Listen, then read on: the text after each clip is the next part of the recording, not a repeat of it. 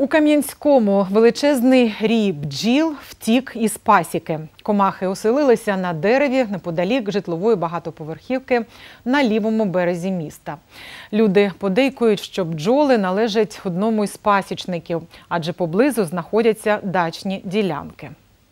Дочка видела вчера его, просто ульем, роем висели. Но дело в том, что это было утром, как бы, может, они еще как бы, в спячке были, не знаю. Чоловік розповів про знахідку у мережі, і вже за кілька годин знайшовся пасічник, який напередодні загубив бджіл.